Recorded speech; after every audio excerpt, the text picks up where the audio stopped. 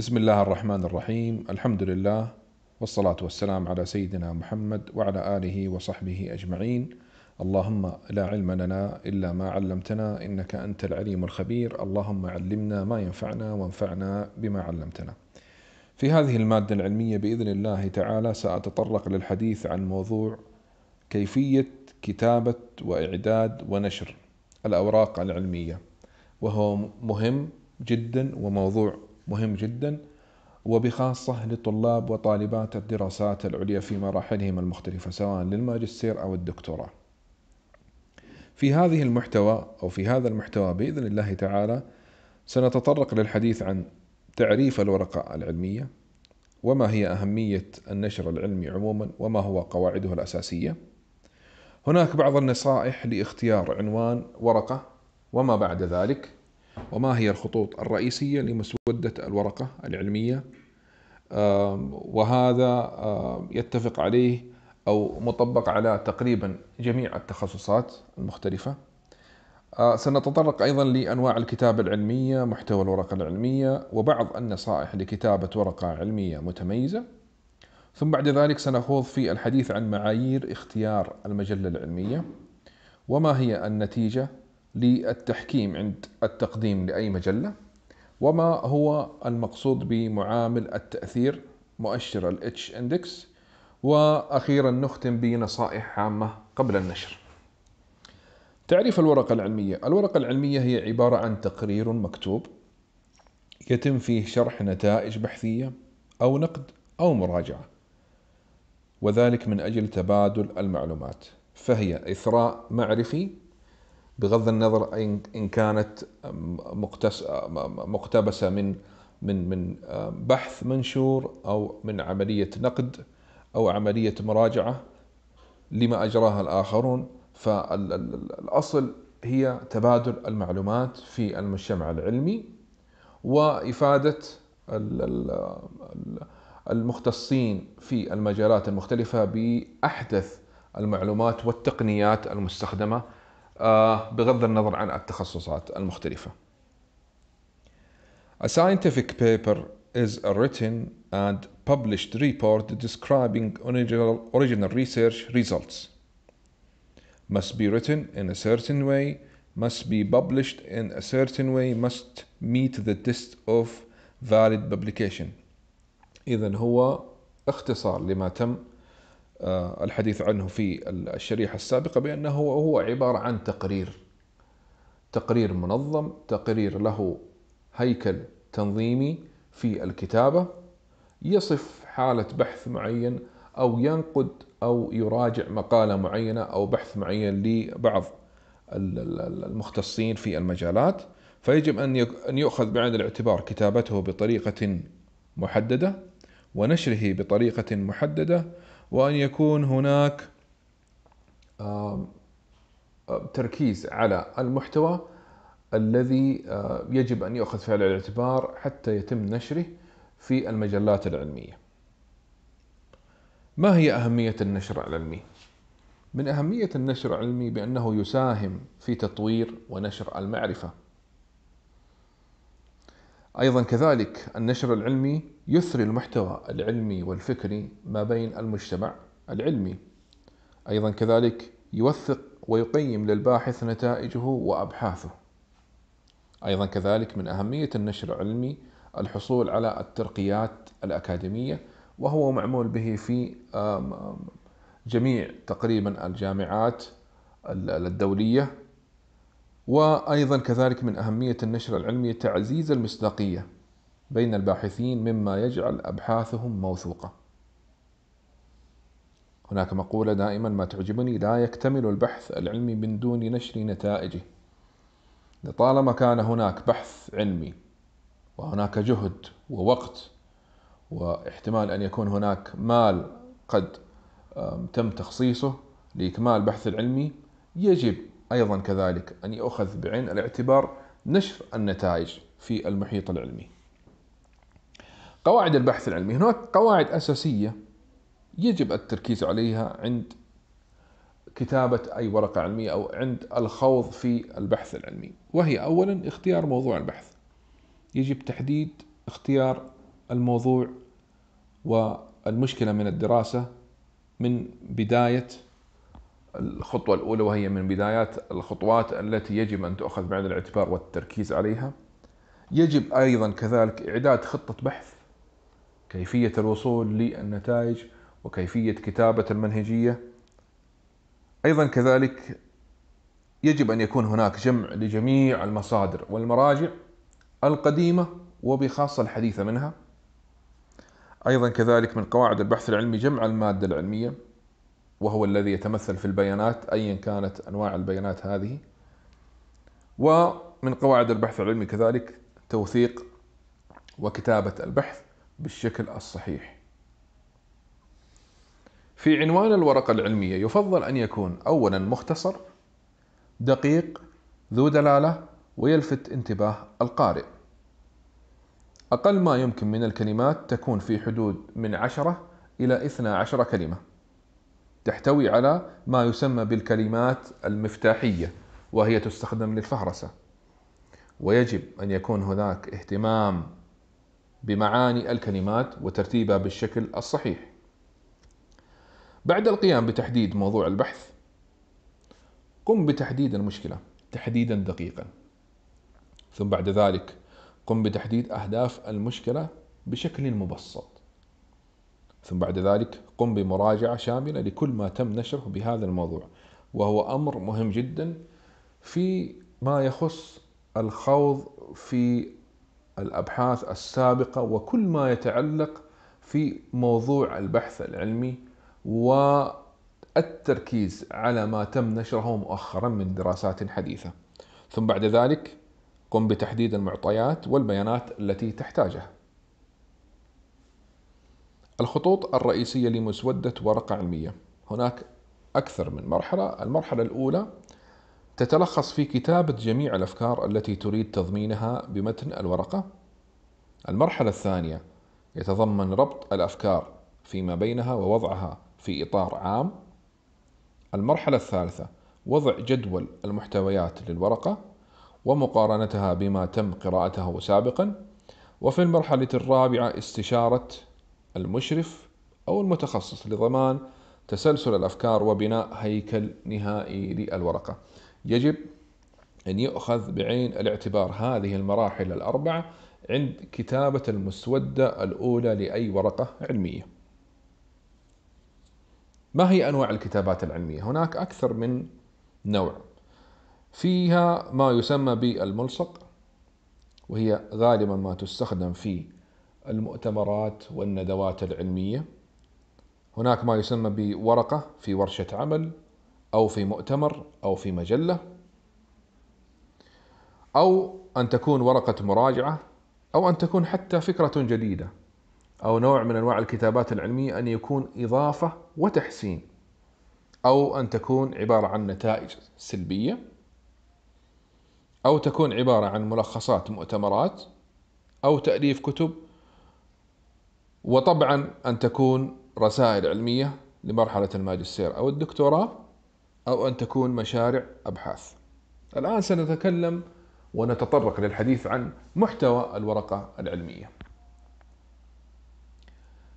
أي ورقة علمية؟ هناك لها هيكل تنظيمي أو أو محتوى تتفق عليه جميع التخصصات.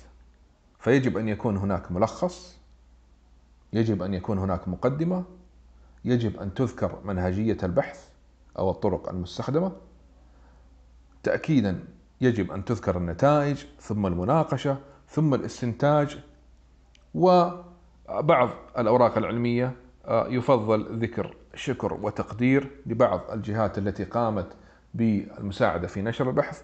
وأخيرا قائمة المراجع. Introduction جزء الانترودكشن هو عبارة عن سؤال. What was the question? ما هو السؤال؟ هو عبارة عن جزء يرتبط ب why. ال methods وهي الطريقة المستخدمة أو منهجية البحث how. How did you try to answer it? إذا جزء ال introduction سيذكر ما هو السؤال وال methodology ما هي الإجابة عليه. في جزء ال results What did you find? ما هي أهمية أو ما هي النتائج التي قمت بالحصول عليها في الدراسة؟ وفي جزء الدسكشن المناقشة so what? What does it mean? بناء على نتائجك التي حصلت عليها ماذا تعني هذه النتائج؟ إذا يجب أن تؤخذ بعين الاعتبار أجزاء أو محتوى الورقة العلمية بأنها عبارة عن أسئلة يتم الإجابة عليها. فيما يخص ال introduction هو عبارة عن سؤال يتم البحث عن الإجابة عليه. ال methodology كيف ستقوم بالإجابة عن السؤال؟ في جزء النتائج ماذا كانت النتائج؟ وفي جزء المناقشة ماذا تعني لك هذه النتائج؟ الملخص ال abstract.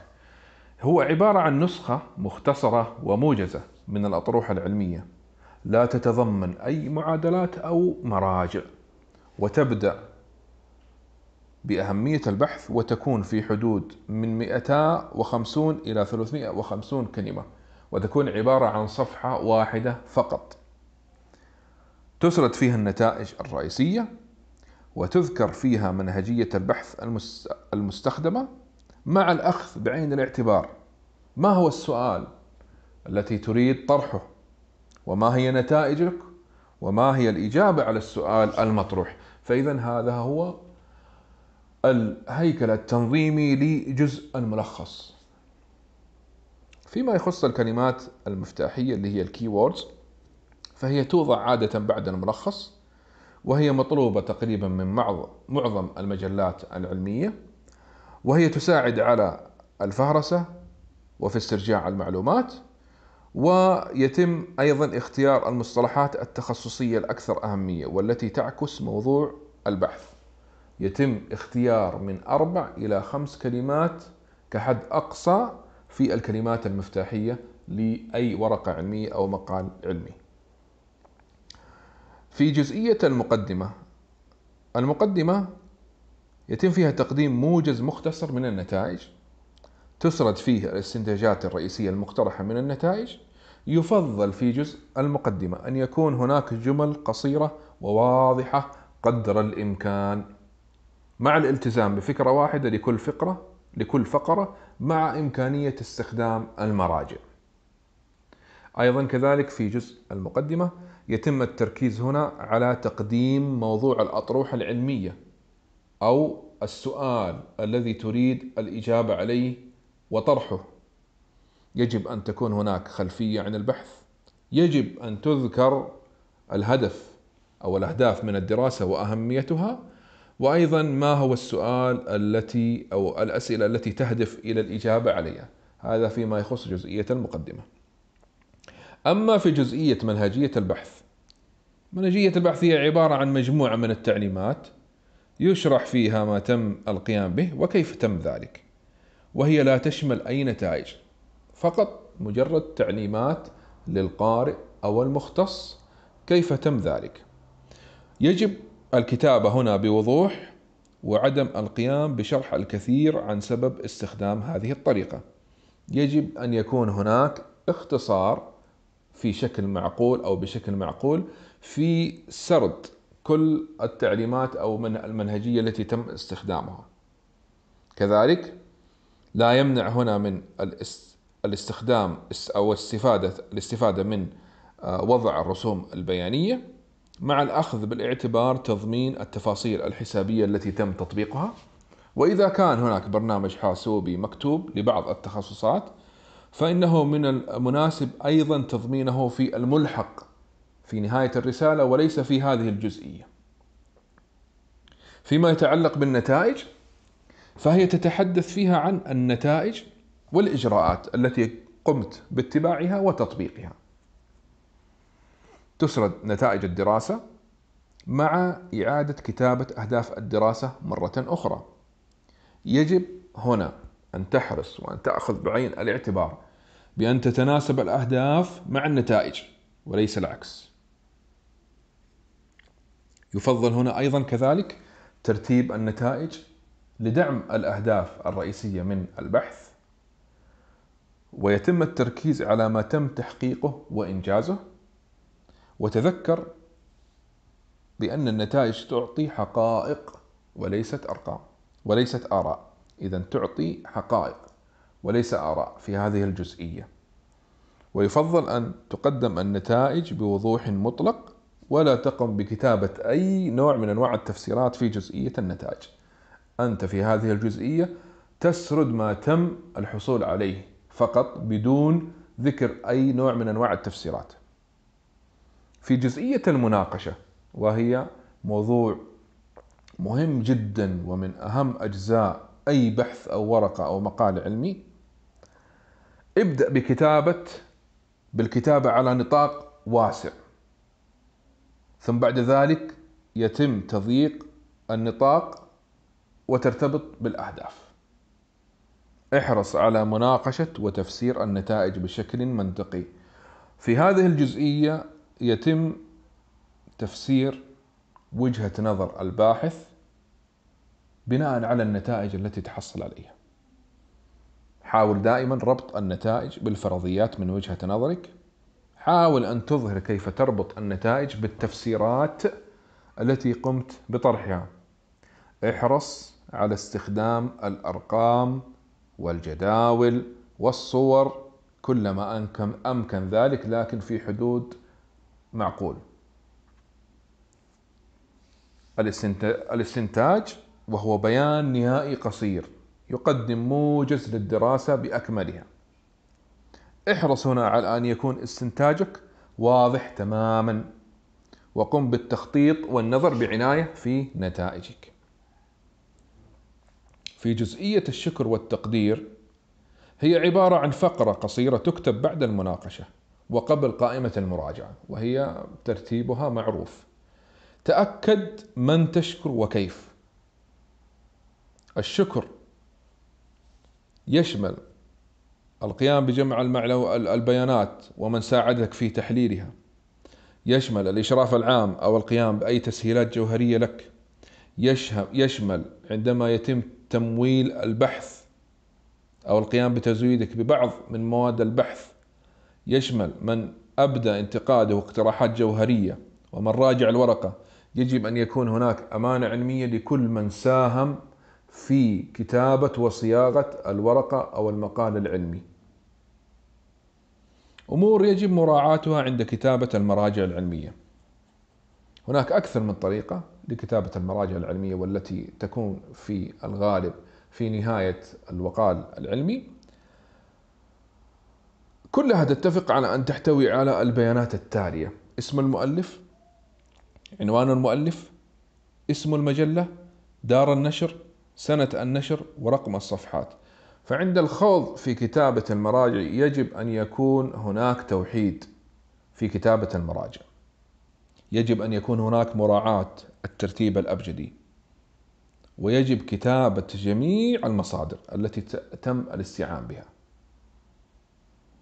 نصائح لكتابة ورقة علمية متميزة. أولا يتم يفضل أن يتم تحديد ساعات منتظمة أسبوعيا للكتابة والالتزام بها. والأهم من ذلك أن تختار أنسب الأوقات للكتابة وهو أمر مهم جدا. أيضا كذلك تبادل الآراء مع الزملاء والباحثين وأصحاب التخصص فهم من آرائهم وتعليقاتهم سيضيفون لك شأنا في الارتقاء بجودة ما تنشره. يفضل قراءة أحدث المراجع. العلمية ذات العلاقة بموضوع البحث. عند الكتابة تجنب تماما الفقرات والجمل الطويلة وهو أمر غير محبب وغير مرغوب فيه. حاول دائما أن تكون الفقرات قصيرة وسهلة الفهم. اقرأ النسخة الأخيرة من البحث عدة مرات. عند كتابة المسودة الأولى ثم الثانية ثم الثالثة عندما تصل إلى المسودة الأخيرة يجب أن تقرأها عدة مرات وأن تعطيها لبعض زملائك الباحثين المشرفين المتخصصين حتى تأخذ منهم ما يفيد في أن تظهر الورقة العلمية بشكل صحيح. هناك معايير عند اختيار مجلة علمية ترغب النشر فيها. المعايير الخاصة بالمجلة يجب أن تأخذ بعين الاعتبار المحرر هيئة التحرير الناشر الأهداف ما هو معامل التأثير كم هي نسبة الأوراق البحثية المقبولة إلى عدد الأبحاث ما هي سياسة الوصول المفتوح هل هي عن طريق الإنترنت أم مطبوعة وما هي الشروط الخاصة بالمجلة. يجب أن تأخذ بعين الاعتبار كل ما يتعلق بالمجلة من تعليمات ومن معلومات تفيدك في تحديد هل هذه هي المجلة المناسبة للنشر أم لا. أيضا كذلك يجب أن تكون بعض الأمور الخاصة بالموضوع تحديدا ما هي نوع الدراسة هل هي نظرية تطبيقية ما هم نوع القراء الذين يقرؤون المجلة. يجب أن تؤخذ بعين الاعتبار الأمور هذه حتى يتم إرسال الورقة العلمية للمجلة الصحيحة. عند تقديم ورقة علمية في أي من المجلات العلمية يتم إما قبول الورقة بدون تعديلات وهي أمر نادر الحدوث أو أن يكون هناك قبول مشروط للورقة بشرط عمل مراجعات بسيطة أم سيطلب منك إجراء تعديلات جوهرية مع إعادة الإرسال أم أن يكون هناك رفض. هي أربع حالات ليس لها خامس. إما أن تقبل كما هي ونسبتها ضعيفة جدا أو أن يكون هناك قبول مشروط بشرط عمل مراجعات بسيطة أو تعديلات بسيطة أو أن يتم هناك إجراء تعديلات جوهرية على أساس أن يتم إعادة إرسالها وقبولها احتمالية قبولها فيما بعد أو أن يكون هناك رفض من البداية. في حال رفض الورقة وهو الأمر المعني والمهم جدا. تذكر أن لا تأخذ الرفض بشكل شخصي. تذكر بأن الرفض هو الطريق للقبول. وتذكر باستخدام ملاحظات المراجعين بغرض تحسين بحثك وإرساله لمجلة أخرى. إذا تم الرفض فليس هي نهاية الطريق. قم بالأخذ بكل التعديلات والملاحظات التي تم ذكرها حتى يتم الأخذ بها وإرسالها لمجلة أخرى. من أهم أسباب الرفض أن يكون هناك عدم توافق بالنسبة للمقال البحثي مع أهداف وشروط المجلة وهذا أمر خضناه سابقا أن يجب أن تؤخذ بعين الاعتبار المجلة هيئة التحرير من هم الفئة المستهدفة. يجب أن يكون هناك قراءة واضحة ومتمعنة في هذا الشأن. من أهم أسباب الرفض عدم سلامة اللغة الإنجليزية ويفضل عند أو قبل الإرسال أي مقال علمي لأي مجلة يجب أن يتم آه، إرسالها لمتخصص في اللغة الإنجليزية حتى يتم آه، النظر إليها وتعديل الأمور التي يمكن تعديلها. من أهم أسباب الرفض الورقة إما أن تكون طويلة جدا أو قصيرة جدا.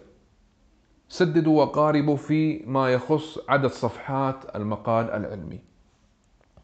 ومن أهم أسباب الرفض كذلك ألا يسهم المقال بمعلومات قيمة في مجال التخصص. ليكن في عين الاعتبار عند كتابتك عند كتابتك بحث أو مقال علمي يجب أن تضيف معلومات في مجال التخصص. فمنذ بداية الأمر يجب أن يؤخذ بعين الاعتبار ما هي الأمور التي آه، تفرض عليك أن يكون هناك جهد ووقت ومال بعض الأحيان في أن تظهر دور هذه المقالة العلمية والتي بدورها ستثري المجتمع العلمي. ما هي مسؤولية الباحث قبل النشر؟ من أهم المسؤوليات التي يجب للباحث أن يأخذ أن يأخذ بها التأكد من كون البحث جديد وأنه بحث أصلي وأنه غير مقتبس شكلا أو مضمونا وهو يندرج تحت مسمى الأمانة أو بند الأمانة العلمية. أيضا كذلك يؤخذ بعين الاعتبار التأكد من إدراج أسماء جميع الباحثين والالتزام بالإرشادات الخاصة بالمؤلفين الصادرة من المجلة. أيضا كذلك من مسؤولية الباحث أن لا ينسب معلومة خاطئة المصدر. وقد خضنا في حديث أنه لا يجب أن يؤخذ بعين الاعتبار أن يكون هناك أهمية مصادر يؤخذ بعين الاعتبار أن يكون هناك مصادر يتم توثيقها بالشكل الصحيح. ومن مسؤولية الباحث كذلك أن لا يستخدم مصدر يتحدث عن موضوع آخر لا علاقة له بموضوع البحث. فقط استخدم المراجع التي هي من صميم موضوع البحث التي أنت الذي أنت تريد أن آه، تنشره. وألا يكثر الأخذ عن الآخرين فتضيع هويته العلمية. يجب أن يكون لك هويتك العلمية في أن يكون لك أسلوبك الذي يشاد له فيما بعد. فالأخذ عن الآخرين بكثرة أمر غير محبب. أهمية تصنيف المجلات العلمية طبعا المجلات العلمية مصنفة ويعتمد جودة المجلة العلمية آه، على تأثير الاستفادة أو على مدى تأثير القراء والاستفادة من آه، المقالات المنشورة. وبالتالي كلما تزداد إسهاماتك العلمية كلما زاد عدد الاقتباسات بك الخاصة بك. هناك ما يسمى معامل التأثير وهو أكثر ترتيب أكاديمي للمجلات العلمية في العالم. هو تقييم منظم يترجم, يترجم الاقتباس من المجلات إلى درجات لكل مجلة ويتم في الغالب تحديثه كل عامين.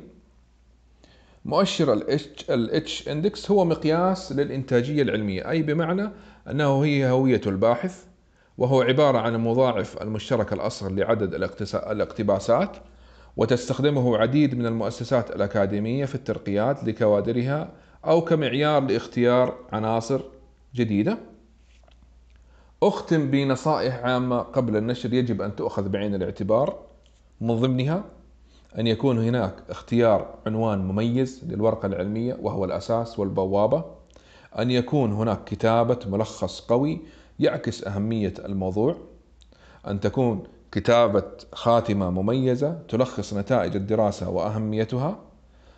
يتم تجهيز الورقة وفقا للنموذج الخاص بمجلة النشر. احرص على تخصيص كل من الوقت والجهد الكافي لكتابة ورقة علمية متميزة. أيضا كذلك يجب أن يؤخذ بعين الاعتبار اختيار المجلة المتخصصة الصحيحة ذات معامل تأثير جيد وأبذل كل ما في وسعك حتى لا يتم رفض ورقتك من البداية. وأتمنى مع نهاية هذه المادة العلمية أن تضيف لك بعض الأمور أو بعض الإرشادات التي تساعدك إن شاء الله فيما بعد حتى يتم نشر ورقتك أو مقالك العلمي. احرص على أن البحث يتماشى مع اهتمامات المجلة. ابتعد عن الكتابة الركيكة. ابتعد عن كل ما يشكك في نتائجك. التزم بشروط إعداد الورقة وتنسيقها. حاول قدر الإمكان الابتداء الابتعاد عن الأخطاء اللغوية. اكتب كلمات مفتاحية لها علاقة بموضوع الورقة. ارسل الورقة لمحرر لغوي قبل إرسالها للمجلة واكتب مراجعك كاملة وبشكل صحيح وفق متطلبات المجلة. الخاتمة عند القيام بعمل بحث قم بنشره في إحدى المجلات العلمية. حاول تقوية مهارات الكتابة الأكاديمية بالإكثار من القراءة. حاول أن تعرف ماذا تنشر وأين تنشر ومتى تنشر. أسأل الله لي ولكم التوفيق والسلام عليكم ورحمة الله وبركاته.